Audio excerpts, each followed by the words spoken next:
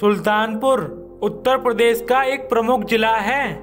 यह जिला गोमती नदी के किनारे बसा हुआ है। सुल्तानपुर जिला फैजाबाद मंडल के अंतर्गत आता है। सुल्तानपुर, उत्तर प्रदेश राज्य का एक ऐसा भाग है, जहाँ अंग्रेज़ी शासन से पहले उदार नवाबों का राज था। पौराणिक मान्यता अनुसार आज का सुल्तानपुर जिला पूर्व में गोमती नदी के तट पर मर्यादा पुरुषोत्तम, भगवान श्री राम के पुत्र कुश द्वारा बसाया गया। कुश भवनपुर नाम का नगर था। स्वतंत्रता संग्राम के इतिहास में सुल्तानपुर का अहम स्थान रहा है। ये शहर भारत की राजधानी नई दिल्ली से छह सौ इकहत्तर किलोमीटर और उत्तर प्रदेश की राजधानी लखनऊ से एक किलोमीटर की दूरी पर स्थित है। सुल्तानपुर जिला कई सारे पड़ोसी जिलों से भी घिरा हुआ है। सुल्तानपुर के उत्तर में फैजाबाद और बस्ती जिला, दक्षिण में प्रयागराज और वाराणसी जिला, पूर्व में आजमगढ़ जिला तथा पश्चिम में अमेठी जिला स्थित है। सुल्तानपुर जिला कुल पाँच तहसीलों में बटा हुआ है, जिनमें सदर, कादीपुर, लम्बुआ बल्दी राय और जयसिंहपुर शामिल है। लगभग चौवालीस वर्ग किलोमीटर के क्षेत्र में फैले हुए सुल्तानपुर ज़िले की कुल जनसंख्या 2011 की जनगणना के अनुसार सैतालीस लाख से ऊपर थी। आबादी के लिहाज से सुल्तानपुर जिला उत्तर प्रदेश का पंद्रहवा सबसे बड़ा जिला भी है। सुल्तानपुर ज़िले की साक्षरता दर तिरासी दशमलव बयालीस प्रतिशत है, जिनमें पुरुष साक्षरता दर अठासी प्रतिशत और महिला साक्षरता दर सतहत्तर प्रतिशत है। इससे यह पता चलता है कि ज़िले के ज़्यादातर लोग पढ़े लिखे वर्ग के हैं। हिंदी, उर्दू और अंग्रेज़ी के साथ साथ इस ज़िले में अवधि भाषा भी बोली जाती है। दुर्गा पूजा।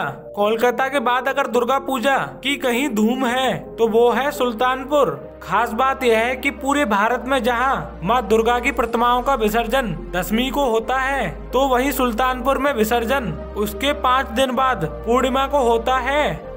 आवागमन की दृष्टिकोण से सुल्तानपुर जिला रेल मार्ग, सड़क मार्ग और वायु मार्ग तीनों मार्गों से जुड़ा हुआ है। रेल मार्ग।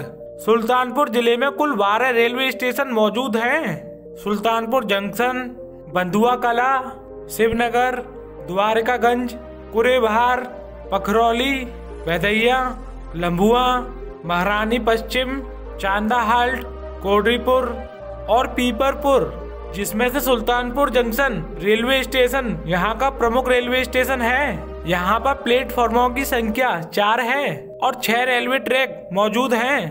सड़क मार्ग, सुल्तानपुर के सिविल लाइन इलाके में स्थित है सुल्तानपुर बस स्टैंड। सुल्तानपुर का ये बस अड्डा अपने सड़क मार्ग के ज़रिए भारत के कई शहरों से जुड़ा हुआ है। इसके ज़रिए आप सुल्तानपुर शहर तक पहुँच सकते हैं। सुल्तानपुर जिला अपने खूबसूरत पर्यटन स्थलों की वजह से भी जाना जाता है। आइए जानते हैं, वो कौन से पर्यटक स्थल हैं जिनके बिना सुल्तानपुर का भ्रमण अधूरा है? कल्प वृक्ष कल्प वृक्ष सुल्तानपुर ज़िले में घूमने के लिए एक धार्मिक स्थल है।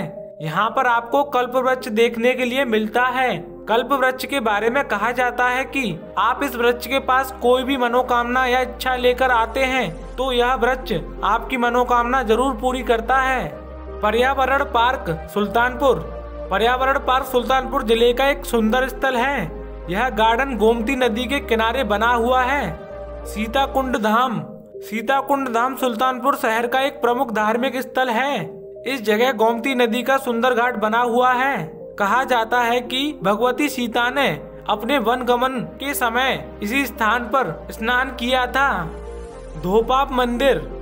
धोपाप मंदिर सुल्तानपुर का एक धार्मिक स्थल है।